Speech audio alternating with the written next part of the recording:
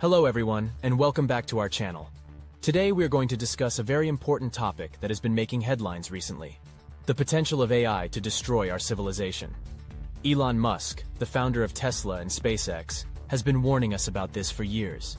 In this video, we will be discussing the reasons behind Musk's warning and the potential consequences of not paying heed to his concerns. Elon Musk believes that AI has the potential to become smarter than humans and eventually outsmart us in every aspect of our lives.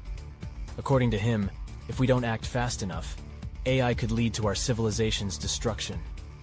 Musk believes that we need to regulate AI before it's too late. One of the major concerns that Musk has is that AI could be programmed to do things that are harmful to us. For example, if an AI system is designed to optimize a company's profits, it may end up exploiting its workers or customers. This could lead to social unrest, which in turn could lead to the collapse of our society. Another concern that Musk has is that AI could be used for autonomous weapons.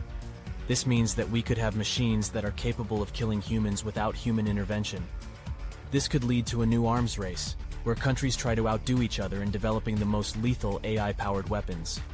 If this were to happen, it could lead to a global catastrophe. Musk's final concern is that AI could lead to massive unemployment. As AI becomes more advanced, it could replace human workers in many industries. This could lead to a huge number of people losing their jobs, and if we don't have a plan to address this, it could lead to widespread poverty and social unrest. In conclusion, Elon Musk's warning about AI should be taken seriously. We need to regulate AI before it's too late.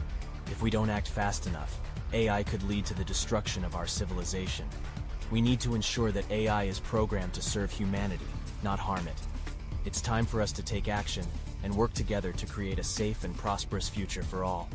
Thank you for watching, and please share your thoughts on this topic in the comments below.